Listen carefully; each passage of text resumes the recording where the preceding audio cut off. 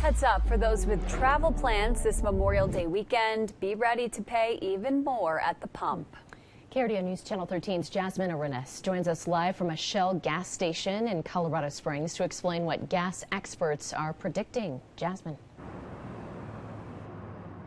Historically, gas prices always rise heading into Memorial Day weekend and remain pricey up until Labor Day.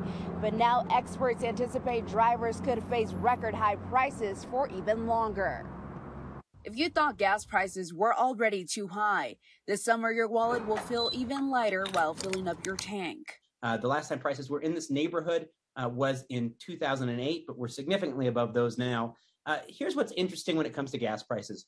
Uh, this is going to be the low point for the summer. The average gas price here in Colorado Springs is a record high of $4.21. Still, the prices aren't prompting Coloradans to change their plans. AAA Colorado says more than 700,000 Coloradans intend to hit the roads this holiday season. Because of this, experts predict the demand will be higher for the gas supply, causing those prices to skyrocket. We might hit a point, a line in the sand where folks say, you know what, I'm not going to travel. Uh, that could bring demand down, which allows supply to catch up. That, of course, will stabilize prices and perhaps bring them down. Frank Macchiarola with the American Petroleum Institute believes the U.S. administration needs to take action now. What they should do is to provide additional supply into the marketplace by promoting more U.S. natural gas uh, production, more U.S. oil production into the market.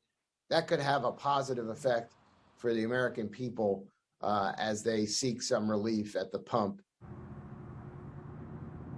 We have compiled a list for you on ways to save some change this summer. You can find it right now on KRDO.com. Reporting live in Colorado Springs, I'm Jasmine Arenas for KRDO News Channel 13. All right, Jasmine, thank you.